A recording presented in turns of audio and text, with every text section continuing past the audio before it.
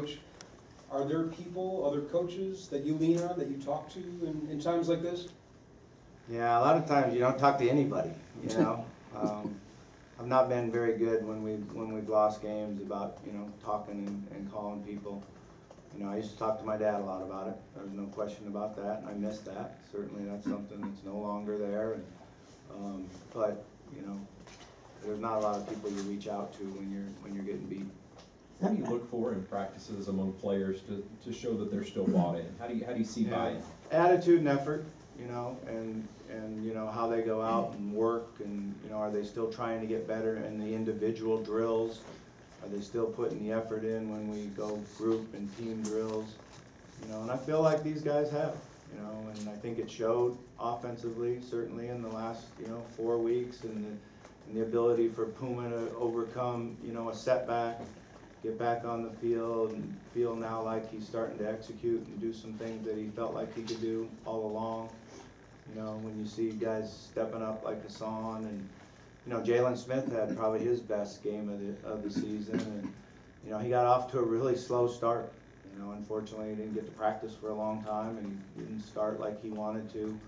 You know, and the good thing about Jaylen was he really worked hard at practice. It was killing him that he wasn't getting the performance and the production that he's used to getting. You know, it was good to see Seth come back. Seth has been injured and not, not out on the field much. So he came back, I think he had five catches for us, and then Tutu keeps getting better. And, you know, to see his production, so, you know, you, you work hard on, on, uh, you know, individuals, and are you improving as an individual, and then you gotta do it with your position. You know, the linebacker group, the O-line group, you know, how do we get better as a group, and then your side of the ball, so. um, I do really believe that our players understand it's a team game, and that we do win and lose as a team, and, and like I said after the game, though, you have to face it when, you know, one side of the three phases doesn't hold up. And so that's what we're trying to do.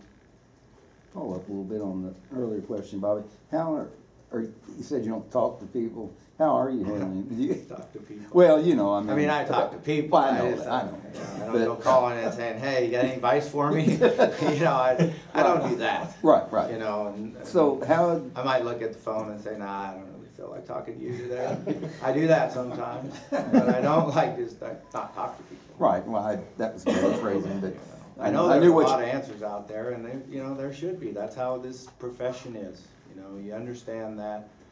You know, I used to always feel good about it, that, you know, you get to go out there and make the play call, um, and knowing that everybody else in the stands had a better play you should call. You know, that's how it works. That's, that's the name of the game. So you have to be able to, you know, believe in yourself, believe in what you do, handle the criticism, understand there's criticism. Um, but you know, we've done a lot of great things here too. We've a lot of- done a lot of great things in our career, and um, you know, we've got three conference championships in three different conferences. If you, if you guys would recognize that we were seven and one two years ago and co-champions with Clemson. So that's you know, so we believe in what we do. We're just not where we want to be this year. you feel like Did, did you, you have any fear or indication at all back in August when you watched this team get ready for the season that this kind of season could happen? You know, I think what I did is I really felt like um, that hey, the defense is really starting to get better because we're making this more competitive in practice. In spring ball, I had some fears on, you know, the offense is going up and down the field on this defense, and they're young and inexperienced. We're making a lot of mistakes. And as we got into camp, I thought, well, this defense has really improved. Um, maybe it wasn't that the defense improved or that we just weren't executing the way we needed to on offense. So. You mentioned that, um, that you have confidence that the players are still bought into the program and the coaches. Is it a better gauge in the individuals in practice, or is it a better gauge in sort of the games and maybe watching film to see if guys are fully bought in and competing at a high level throughout the game and? Yeah, it's certainly things- both, there's no question about that, but it's also, you know, in, in all athletics, private victories always succeed, um, you know, public victories. You have to be able to do things in practice and be successful in one-on-one drill and, and do it there, um, before you actually go out and, and do it in the game, so. Um, but certainly, it's, you gotta gauge both of them, there's no question about that. Um, But if you go out and practice and you don't have the focus and the effort and the concentration that you need, then we're never gonna get it done in the game. Have you seen any signs of that being the case? No. I, this team has done a good job of working hard and, and working to get better. And like I said, I think that's why you've seen the offense improve and get better. You've seen our special teams, you know, particularly our, our punt, uh, return and our, and our punt team and kickoff cover team. I'm not happy with where we've been on, on our kickoff return, you know, we, we gotta execute better and get better blocks, cause we have a really special returner. We have to block better for him. Bobby, social media has changed things so much in the last ten years. Do you talk to your guys about staying off of that, or how do you keep the noise out of the locker room? Yeah, I mean, we, you know, we bring people in to talk to them. Um, you know, it's something that you do every preseason, bring somebody in. You know, you always talk to them about criticism and how to handle it and, you know, but, uh, you're, you're, it is part of society now.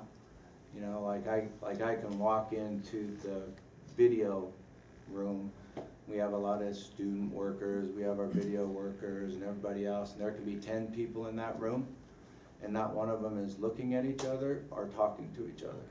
They're all staring at their phone, you know, so that, that's just, it is what it is. Um, I would agree with Mike Gundy. I heard what Mike Gundy did, and I said, yeah, there we go. What did he say? I don't know, you'll have to find out. Last question.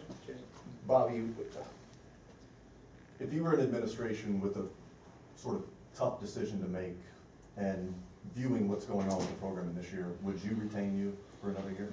Yeah, I would, yeah, you know, I think what you, what you see is what our record has been, what we've done here, what we've built here, you know, where we've been, and understand that, you know, we got a bad year. All right. Thank you.